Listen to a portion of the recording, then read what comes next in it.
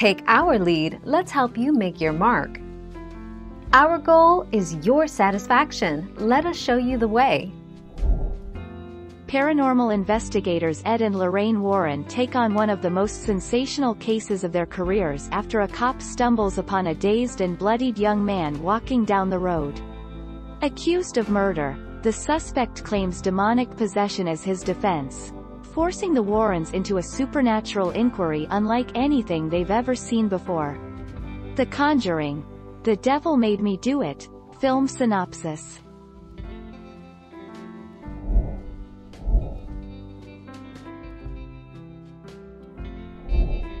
Take our lead.